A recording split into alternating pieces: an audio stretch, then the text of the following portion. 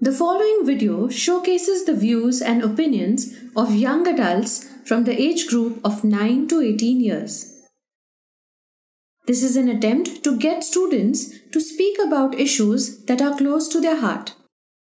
Watch and get a glimpse of what the future of India is thinking and where is India's youth headed. Viewers are requested to consider the student's age before judging and voting. ली आयोका ने कहा था कि you can have brilliant ideas but if you won't bring them across your ideas won't get anything myself Akash Mallikarjun Patil standard ninth model public school दोस्तों, आपको क्या लगता है? हमें कामयाब होने के लिए क्या चाहिए?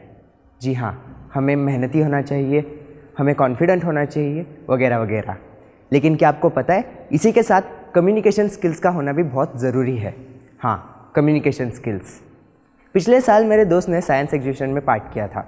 अभी हुआ यूँ कि उधर और एक बच्चा था जिसने मेरे फ्रेंड जैसा ही मॉडल बनाया था। हालाँकि दोनों के मॉडल सेम थे, लेकिन दूसरे बच्चे को वो प्राइज़ मिला। वो क्यों हुआ? क्योंकि मेरा फ्रेंड उसे ठीक से एक्सप्लेन ही नहीं कर पाया। मतलब वो जो एक्सप्लेन उस मॉडल में क्या था, वो दूसरों को ठीक से बता ही नहीं पाया। इसी कारण वो सिलेक्ट नहीं हो पाया। ऐसा कई बार होता है कि कम्युनिकेशन स्किल्स वीक होने की वजह से हम कई सारे मौके गंवा देते हैं।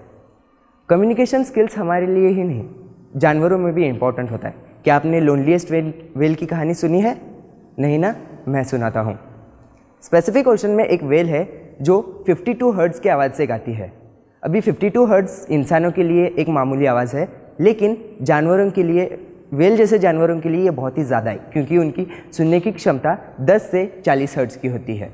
अभी होता यूँ है, जब वो दूसरों के साथ कम्युनिकेट करने की कोशिश करती है, दूसरे वेल्स के साथ तो वो दूसरे वेल उसकी बात समझ ही नहीं पाते या सुन ही नहीं पाते। और इसी कारण वो आज अकेली पड़ गई है। और इसी कारण उसका नाम लोनलीस्ट वेल है। ये सच्ची कहानी है। चाहे तो आप इसका, इसको गूगल पे सर्च भी कर सकते हैं।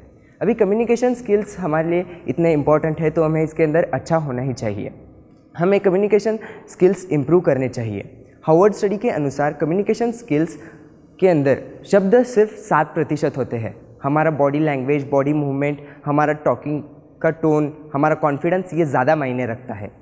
अगर हमने इन सब के ऊपर थोड़ा वर्कआउट कर लिया तो हमारे कम्युनिकेशन स्किल्स डेफिनेटली अच्छे हो जाएँगे। इसी के साथ हमें लोगों के वीडियोस देखने चाहिए, लोगों के ऑडियोज़ सुनने चाहिए, जो कम्युनिकेशन स्किल्स में ज़्यादा बेहतर है। इससे हमारा कम्युनिकेशन स्किल इम्प्रूव होता है। वो कहते हैं ना communication works at those who work at it अभी अंततः मैं आपको एक कहानी सुनाना चाहूँगा जैक एंड मैक्स की। ये कहानी इंग्लिश में है। Jack and max where visiting a religious place at that time Jack आज to max with max whether it will be all right to smoke while praying Jack आज to max max told why don't you आज to the priest Jack did the same ही आज to the priest priest, whether it will be all right to smoke while praying? Priest told told, No, my son, you can't. It is against our religion and our, and our rules. Jack came back and told to Max about the priest. Max told, I am not surprised by your answer. I knew it. Let me try. Jack went to, uh, Max went to the priest and he asked, Priest, can I pray while I smoke? Max asked to the priest, Priest, can I pray while I smoke? The priest said, by all the means, my son, by all the means. Thank you. Don't forget to like and subscribe.